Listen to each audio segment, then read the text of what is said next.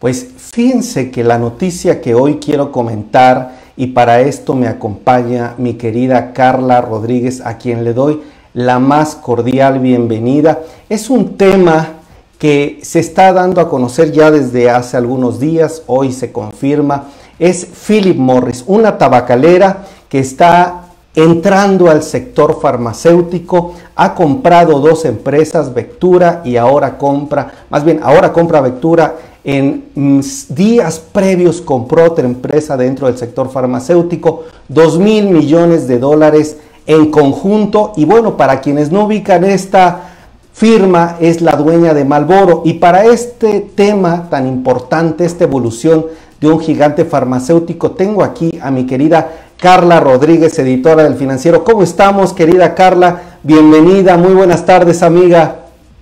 Muchas. Pues mira, sí, es una noticia muy interesante esta adquisición de Philip Morris. Como dices, es la segunda adquisición que se da en el negocio farmacéutico y esto está insertado en el interés de Philip Morris de que su portafolio para el 2025 sea al menos 50% productos libres de humo. ¿Esto que implica? Pues que la, la, empresa va a tener que incursionar en nuevos negocios, en este caso pues es Ventura, la empresa que adquiere, que es esta farmacéutica, y se suma justamente a la adquisición que había eh, anunciado hace un par de días eh, apenas, que es una empresa que se llama Fertin, también farmacéutica.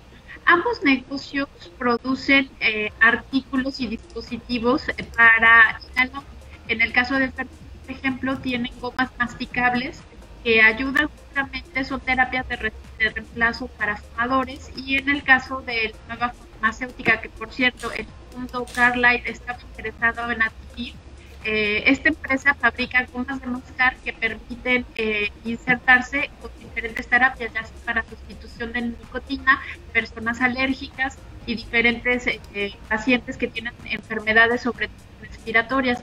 En ese entorno es debemos entender estas eh, dos adquisiciones de Philip Excelente, mi querida Carla Rodríguez. Fíjate que te, eh, gracias, te escuchamos muy bien. Voy a ver si tu audio al inicio como que se escuchó un poquito doble.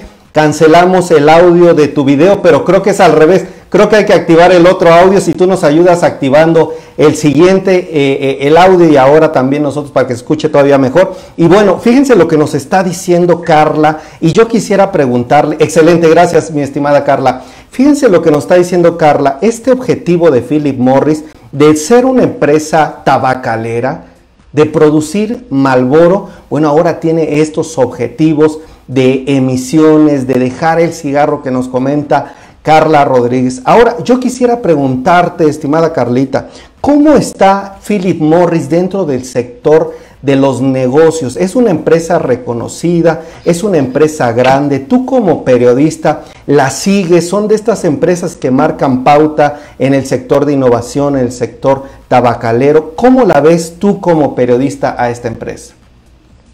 Mira, es una empresa que conoce muy bien el mercado de dispositivos eh, de, cigarro para fumadores, pero que también ha notado que en, los últimos meses, en los últimos años, eh, la gente se encuentra cada vez más preocupada por su salud. El COVID justamente vino a reforzar esta idea de que la gente necesita dejar de fumar porque se empezó a relacionar a los fumadores con una mayor prevalencia de muerte en caso de que se fueran contagiados con COVID. Esto lo nota Philip Morris desde hace muchos años atrás, entonces, aunque invierte mucho en innovación, encuentra una muy buena oportunidad con los dispositivos de vapeo, eh, produce su propio dispositivo de vapeo y entonces posteriormente, eh, se, eh, al notar que el consumo de fumadores empieza a bajar, es donde decide que tiene que migrar hacia un negocio que sea sustentable en el futuro. En México, para que tengas más o menos una idea de cómo viene presentándose el consumo de cigarros, el año pasado cayó 25% el consumo de cigarros, solo en México. Esto es una cuarta parte del negocio que pierden las tabacaleras y solamente fue impulsado por el COVID. Entonces, ¿qué hace esta empresa? decidir que tiene que hacer fusiones y que después de ser una empresa tabacalera encuentra un nicho de mercado interesante en la adquisición de farmacéuticas. Entonces ya la empresa se está apuntalando hacia esa estrategia de convertirse no en una tabacalera 100%, sino en una empresa farmacéutica donde incluso fue potencial, por ejemplo, en el negocio del cannabis. Perfecto, muchísimas gracias Carla. Permíteme saludar a Silvia Sierra, Tania Barrera de Wortev, ¿cómo estamos? Silvia Sierra, Marcela Garfias, muy buenas tardes. Ana Yadira, qué bueno que se unen. Diana Villegas de Estafeta, un gustazo que nos estén acompañando. Y también, bueno, fíjense lo que estamos platicando Carla Rodríguez y yo. Philip Morris, una empresa tabacalera, dueña de marcas como Malboro, está entrando al sector farmacéutico. Y bueno, un dato que nos pone Carla Rodríguez que como editora del financiero, bueno, ya tiene datos, es precisa, directa en los datos, más del 25% o cerca del 25% cae la venta de cigarros, esto es lo que nos dice, y bueno, una empresa que se dedica a la venta de tabaco, pues tiene que buscar nuevas alternativas. Además de que esta tendencia ya desde hace algunos años se ha tenido en el mercado. Ha caído esta venta de cigarros y estas empresas están buscando alternativas y de ahí que nos explica Carla que está llegando pues al sector farmacéutico. Mi estimada Carla Rodríguez, ¿tú qué ves dando seguimiento ya desde varios años en el sector de negocios en estas empresas? ¿Cómo ves al sector del tabaco en los próximos años? Vamos a seguir viendo estas fusiones y adquisiciones.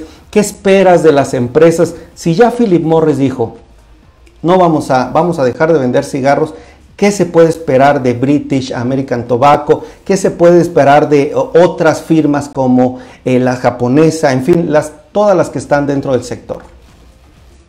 Mira, eh, yo creo que ahora el nombre del juego es diversificarte.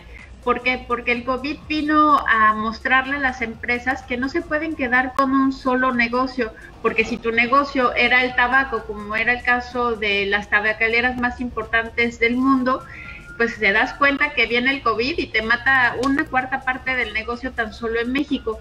Entonces ahora lo que tienen que hacer es empresas que se dedicaban o eran especializadas en un producto, necesitan generar alternativas que les permitan tener ingresos adicionales en caso de que un mercado vaya hacia, hacia la baja, como es el caso notable de los consumidores de tabaco.